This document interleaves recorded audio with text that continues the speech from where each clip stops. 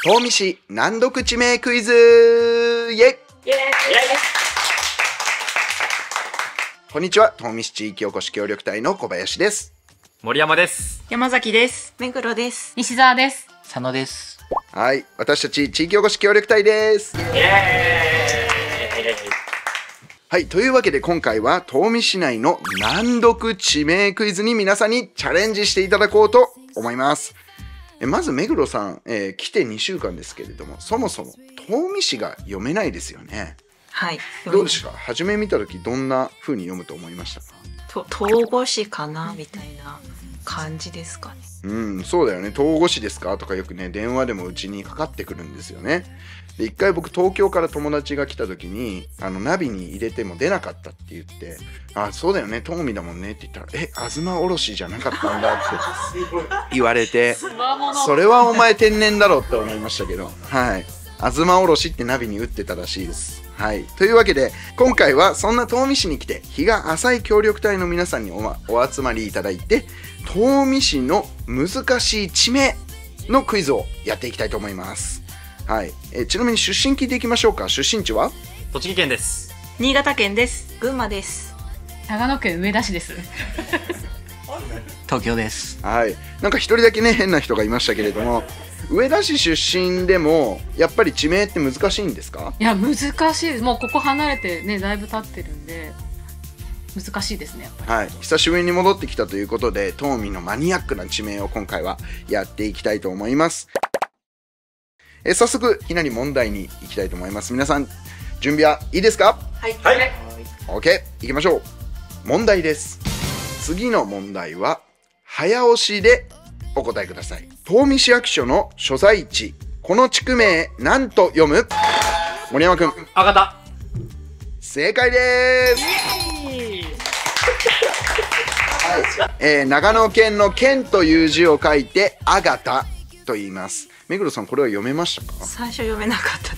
そうですよね。長野県、えー東美市あがたと書くんですけれども、このロケ地もね、住所あがたなんですけれども、よくこうで、あのー注文した時とか間違ってませんかって連絡がたまに来たりしますね。ちなみに長野市にもあがた町という地名があるそうです。じゃあ、1ポイント獲得ということで、はい。続いての問題、こちらも早押しでお答えください。東美市のこの地区の名前、何と読む？森山くん。可能。正解です。反射神経。反射神はい。ここ引っ越してきて「可能」読めなかったよって方。はい。もう読めないですよねこの「可能」っていう字。こちらはですね私調べたところ明治9年東上田村栗林村など6つの村が合併して成立したそうですねでこの名前の由来なんですけれどもいろんなところが合併したのでみんなが和をもって収まるようにという思いを込めて「可能」という、えー名前になったそうです2ポイント獲得ありがとうございます。すいません。では次の問題はフリップにお書きください東美市熱地区のこの地区名何と読むでしょう。どうぞ。フリップにひらがなでお書きください。東美市熱地区のこの地区名何と読むでしょう。それでは一斉にオープン。ではではではではでは。というわけで正解はではです。おお皆さん。山崎さんこれは簡単でしたか？市役所の中での会話でデバっていうのを聞いたことがあるので、これかなと思って。おーさすがやっぱり仕事に結びつけて書いてくれる 山崎さんさすがですね。もともとはここ出羽神殿村という村の名前だったそうで今は東美市熱地区の中の一つの、えー、あざ名になっていますはい。では続いての問題。早押しでお答えください。東美市湯の丸高原を有する東美市北側の地区名熱地区ですけれどもその中のこちら。何と読むでしょうか？えー、はい。ユダ。違います。知らない。油田。違います。油油だ。違います。これわかんない本当に。熱地区。私も初めて見た。うん。さあ皆さん迷ってますけれどもしシンプルですよ答えは。はい。油田。正解です。はい油田でしたはいこれ由来は諸説あるんですけれども実は全国に油田という地区名はかなりたくさんあるそうでしてもともとごまとかえごまといった菜種とかねえー油が取れる食物を栽培していたことが由来ではないかという説があります。はい。続いての問題です。次の問題も早押しでお答えください。東御市。熱地区また熱地区ですねのこちらの地区名何と読むでしょ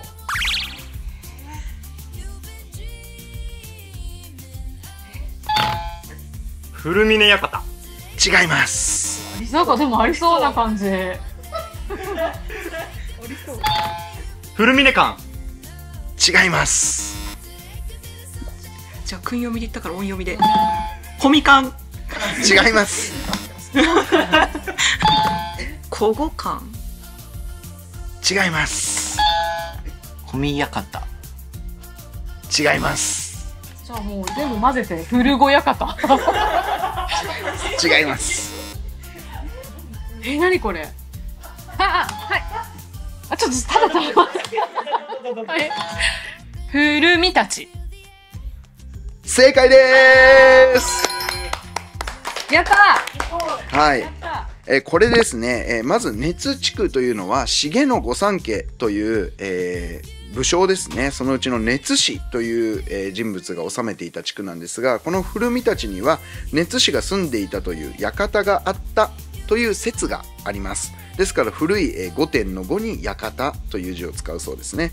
ということで3ポイント2ポイント1ポイント2ポイント1ポイントということで、えー結構拮抗していますね。じゃあ続いていきましょう続いての問題です。フリップに漢字で書いてください。東御市列地区の見張区。漢字で書いてください。え、何それどうぞ。湯の丸高原に向かう、えー大きな坂道ですけれどもここが見張区になっております。さあ皆さんの一般常識が問われるクイズになっております。はい。はい。よろしいですか？それでは一斉にオープン